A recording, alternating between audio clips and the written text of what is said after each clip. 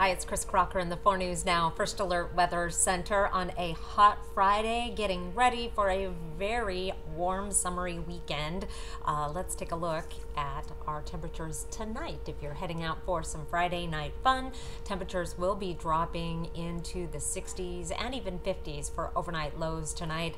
Certainly, once our sun sets, we'll be down in the 70s, which will be a nice break from the 90s of um, today.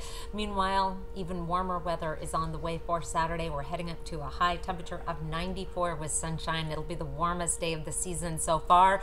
Until Sunday, it's going to be even hotter. I'll tell you all about that tonight on 4 News Now.